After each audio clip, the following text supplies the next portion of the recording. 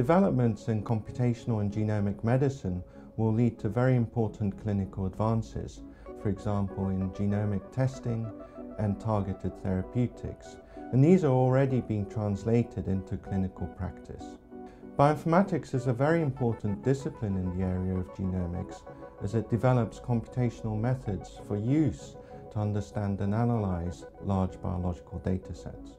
It's very clear that advances in this field will ultimately lead to improved healthcare and society.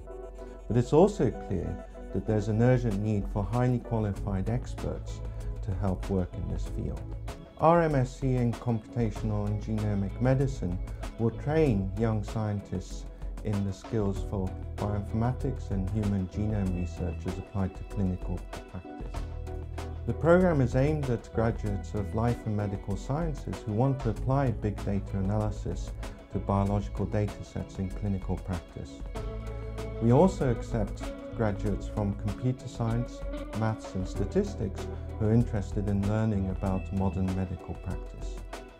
We will provide students an outstanding learning environment and we aim to do this in a very nurturing manner.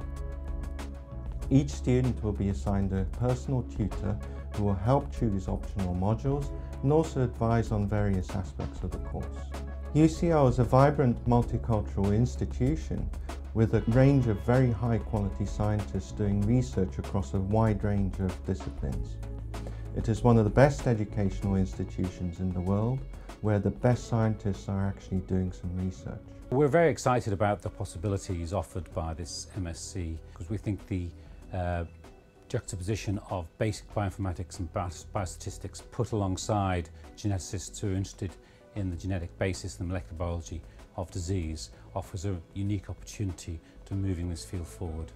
It's quite clear to everybody involved in biomedical science that the uh, huge opportunities that are offered by the large amount of data that are coming through uh, a range of studies, in particular genetics and genomics.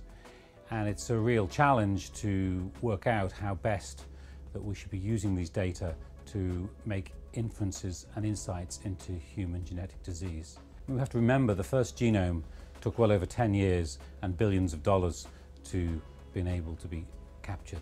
Now a genome can be sequenced for a relatively modest sum and a sum that is falling all the time. So the potential use of genetic and genomic data uh, put towards understanding the disease and most importantly in towards helping us manage those diseases creates an incredibly exciting opportunity for the next few years. One novel trend in life sciences is the development of new techniques that generate massive amounts of data. One example of that is high-throughput DNA sequencing, for example, where thousands or tens of thousands of patients can be sequenced, for example, to find the rare, the basis of a rare disease that affects a, a fraction of the population. And uh, given the overwhelming amount of data that are being generated, there is more and more demands of researchers who can understand those data, mine those data, and extract useful insights from all that knowledge that, uh, you know, that needs to be extracted from those data sets. So one type of project I'm involved in currently, for example, is uh, the, the, search for the genetic basis of rare Mendelian disorders, so rare variants that make individuals very ill and very many cases, we still don't exactly know why those people have those uh, illnesses. So the way we do that, we have to look at very large sets of individuals and try to categorize healthy and cases and find in the cases the common denominator, the one thing that they share that is causing, uh, that is causing the illness. So those are by definition very large data sets because we can only understand what's happening when you look at the population level. And that's where those computational issues become very obvious and we need this training in computational sciences. My name is Delilah Zabaneh and I'm a statistical geneticist at the UCL Genetics Institute. I have joined UCL in 2009 and I work as a statistical geneticist in population genetics and genetic epidemiology. I have worked on a number of genetic association and Mendelian randomization studies.